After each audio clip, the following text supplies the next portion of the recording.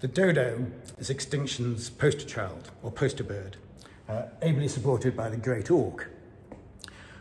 Both of these went extinct due to persecution. So what causes the last gasps of extinction? It could just be that the population is driven persistently down until eventually the last individuals disappear. But there are four reasons why extinction becomes particularly likely as species become scarce.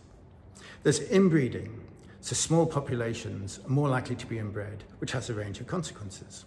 There's demographic stochasticity, randomness, that means that if key individuals die or don't breed, then that can be critical for small populations. So for example, the heath hen was down to a small number of individuals, but they're all male, so it went extinct. It went extinct due, due to demographic stochasticity. And then disasters. Disasters are a particular problem for species that are now at a small population size and a small range. Uh, they're more resilient when they're commoner and wider range. So Hurricane Iniki in Hawaii knocked out five species or subspecies of birds. And then finally, there's the Allee effect, that species do less well when they're scarce.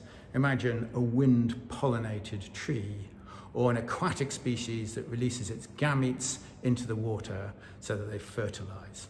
Or imagine a, a species dependent on group defense. None of those strategies work when species are scarce.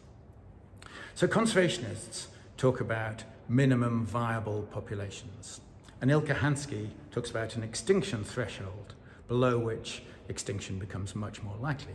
And these both express the idea that the odds of survival uh, become much lower when species become very scarce. And that's due to inbreeding, demographic stochasticity, uh, disasters, and the Allee effect. So if we're to stop other species joining these, we need to ensure that they remain at population sizes where these factors are less likely to come into play.